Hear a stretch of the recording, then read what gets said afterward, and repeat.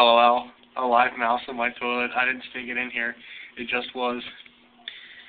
Mike, Olio, this one's for you guys.